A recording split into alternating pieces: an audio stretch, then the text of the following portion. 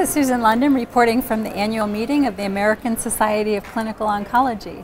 I'm talking with Dr. Shastri about VIA screening for cervical cancer. Dr. Shastri, can you tell us a little bit about your findings? The study that we did in India was a large cluster randomized trial that looked at the efficacy of a simple test called visual inspection with acetic acid performed by primary healthcare workers in reduction or reducing mortality from cervical cancer. At 12 years of follow-up, the results clearly showed that there was a significant 31% reduction in mortality from cervical cancer in this study. Okay. And what does it take to implement a VIA program? Uh, number one, we need to very clearly understand that this is a test which does not require any laboratory support. And in this study, we used primary health workers who were 10th grade pass health workers whom we trained for a period of 4 months to be able to provide visual inspection with acetic acid. Now visual inspection with acetic acid is a part of the colposcopy process in gynecology. We just picked up that process from there and trained primary health workers to be able to do it without the magnification.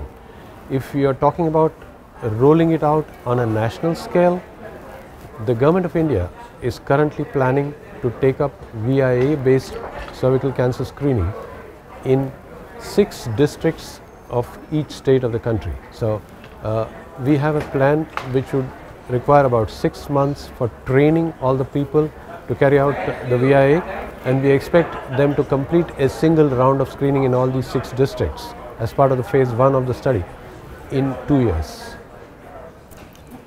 And do you have any cost or cost effectiveness data for your program? Uh, we haven't uh, done detailed cost effectiveness analysis, but if you want a ballpark figure, then it costs us about 30 Indian rupees, which is around 75 US cents to screen one woman. And can you recap briefly how VIA compares with pap smears and HPV DNA testing? There are other studies which have compared HPV DNA testing and VIA and pap smears. So, in these inferiority trials, the sensitivity of VIA is close to or sometimes better than pap smear. The specificity of VIA is slightly lower than pap smear. So, overall it is a good technique, we are not losing anything in terms of quality, at the same time it improves both access as well as affordability. Okay, and how about compared with HPV DNA testing? HPV DNA testing, we had not just an inferiority trial, we had an efficacy trial uh, where we were looking at a single round of screening.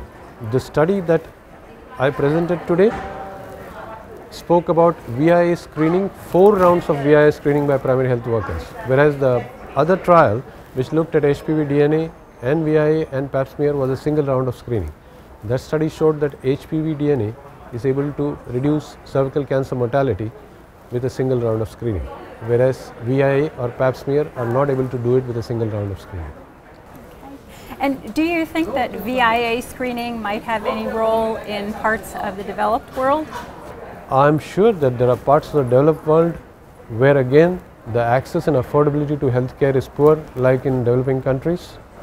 Uh, the low socioeconomic or the low resource populations and communities which are there and uh, I'm very sure that VIA might be a useful cervical cancer screening program for these areas.